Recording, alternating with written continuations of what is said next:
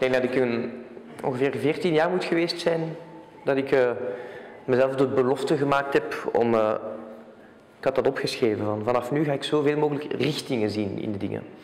En de dingen dat ik doe is eigenlijk nog altijd dat.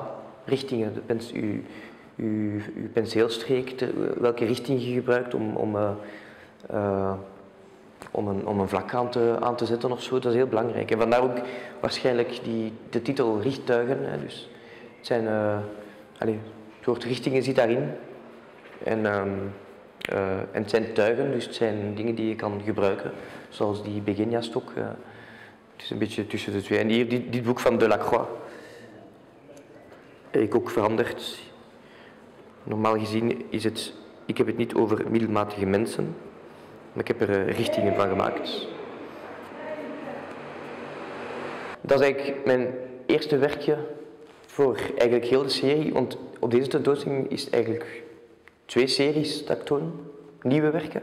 En dat is eigenlijk het eerste werkje als, als sleutelwerkje eigenlijk. Het is een manier om... eh, eigenlijk is een, een technische oefening om nat in nat in olieverf te schilderen. Laag, lagen overheen, maar nat in nat. En is een, dat heeft een bepaalde moeilijkheidsgraad, want als je met kleuren over elkaar nat in nat schildert, dan krijg je heel snel vuile kleuren. Dus eigenlijk was mijn uitdaging bij het maken van deze reeks schilderijen ehm, lagen over elkaar zetten, nat in nat, maar dat de kleuren fris blijven. In Ethiopië, ik ga re- regelmatig naar Ethiopië en daar, heb ik, eh, daar zijn dus de, de monniken, hebben zo van die stokken om te leunen, omdat die dus ehm, ceremonies hebben die heel lang duren, soms vier uur aan een stuk. En dan hebben ze een stok nodig om te leunen. Maar het leuke is, na een tijd dat ze eigenlijk daar, eh, dat ze dat gebruiken als, als, als sokkel om, te, om voor een dans eigenlijk. Dus ze beginnen daarmee te, te draaien. En eh, het is ten eerste heel handig om, om ook mooi op, op de hoogte van uw, van uw arm. En ten tweede is het gewoon een, mooie manier om, om, om te dansen. Je kunt ermee dansen. Ja. Dus het is eigenlijk gewoon een heel, heel langzame dans waar ze eigenlijk zo van die draaibewegingen doen. En dan ontspant en dan komt geen catharsis. eh, voilà. Dit is dus de Beginia-stok. Voilà, dat was het.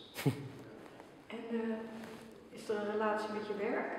Ja, dus het zijn schilderijen die ik eh, door in de jaren op overschilderd en dan terug opgespannen op andere chassis en dan in stukken gezaagd en plots het idee gehad om dit er dan bij te zetten. En, het is heel organisch is dat gegroeid.